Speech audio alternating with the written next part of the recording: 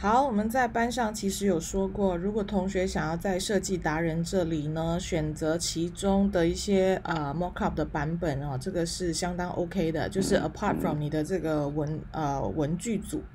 那如果你想要选择这种单色的话，你要先确保你的这个标志呢是没有重叠的图案的哈，所以每一个东西都是很分明的，有没有看到？它没有重叠的图案，因为重叠的图案呢，它出来就是一团认不清什么东西是什么，所以你就不可以用这些。所以如果你有重叠的图案或者是有颜色的东西呢，我会比较推荐说选择一些它本来就有颜色之分的一些 mockup，好像例如说我打算用这个，那我就选择。下载素材，然后来到这边，我就选择 download，OK。那因为 download 需要些时间，我已经 download 好了，所以我就按一下啊，把它打开，然后我就可以看到打开的这个 logo mo logo mockup 里面呢，它有 one and two 啊，我打算用 one，所以我打。Double click，所以我就会在 Photoshop 把它打开。那你每一次来到这里之后呢，往右边看应该会有 Layers，如果没有的话，你去上面的 Drop Down Menu 寻找 Layers。那在这个 Layers 里面一定会有一个 Placeholder，如果没有的话，你就仔细观看，它会有好几层，然后最上面一层一定是有很多一格一格，嗯，就是灰白灰白灰白这样子的这个呃图案。那这个呢，就是你应该要放 Logo 的地方，你就在这个格。子这边 double click，好，这里呢你会看到呃有这个 logo，怎么样知道是不是呢？眼睛这里关掉哦，真的是它，所以呢我们要替代它，怎么样替代它呢？非常简单，我们现在来到我们的 AI 啊，我打算就是用这个好来替代掉刚才的这个 logo 好了，所以我整个选起来，然后呢我去 Command C 或者是这里啊 Edit Copy，然后呢我来到 Photoshop。OK，所以我可以 paste 哈，paste 的时候选择 Smart Object。好，你有没有看到它就出出现一层这个 Vector Smart Object？按着 Shift Key，然后放大。所以如果你呃可以的话，你就放到跟它一般大啊，好像这样子，高度差不多一般大，可以了。好，那我要 Confirm 之后呢，去上面这边打勾。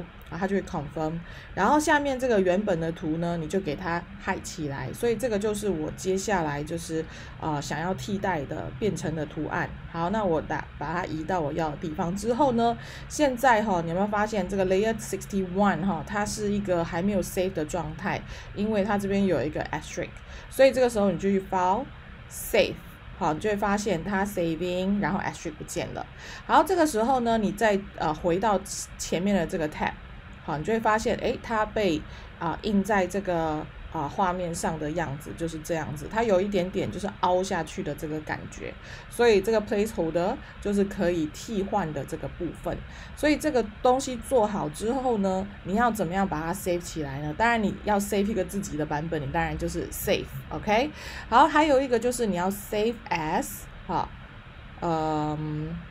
不是，我觉得你可以用那个 save for 那个 web 更好，export，呃，save for web 好不好？我们用 save for web，然后呢，我们可以就是在右手边这里选择 JPEG，OK，嗯，GIF 的话是动态的，所以我们没有要用，JPEG 就刚刚好哦，PNG，呃，八跟二十四这些呢是用作网页用的，所以我们选择 JPEG 就好，quality 拉到最高哈，一百 maximum，OK。好，那一切都就绪的话，就按 save。好，就 save 到哪里去呢？嗯，我为了就是给大家看的话，我就把它 save 到 download 里面去，因为等一下我会丢掉的。所以你们自己要 save 到哪里呢？你们要啊知道啊。所以你可以 save images only，OK，save images only save。好，那这个时候呢，你就到你的这个啊 download 里面去，OK。所以在这里有没有看到？PSD 有一个，然后还有一个，嗯，我 save 到哪里去了？糟糕了，我去找一下哈，file，嗯，export as 呃 save for web，我看把它 save 到哪里去，我不知道哎，OK，save，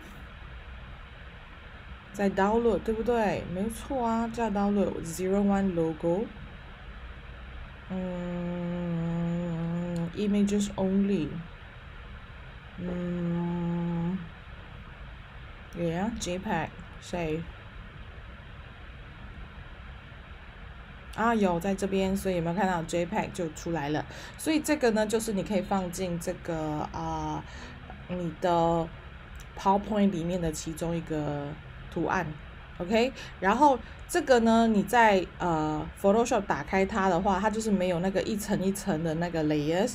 可是为什么我们不要用 PSD 而要用 JPEG 呢？因为 PSD 呃，虽然它可以 retain 它的 layers，可是它的 file size 会很大。那如果你把它 save 成 JPEG 的话，它的 file size 是比较小的，因为它 compress everything。啊，所以这个就是怎么样去啊用呃我提供给大家最新的这个 mockup 的 template，OK。